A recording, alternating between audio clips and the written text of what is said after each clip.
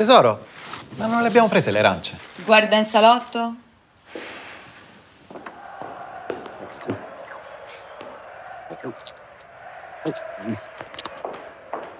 Forse non tutti sanno che gli elefanti sono dei veri amanti delle arance e che i più golosi arrivano da Catania. Dalle terre dell'Etna arriva Arancia Rosaria, la più amata da chi ama le arance.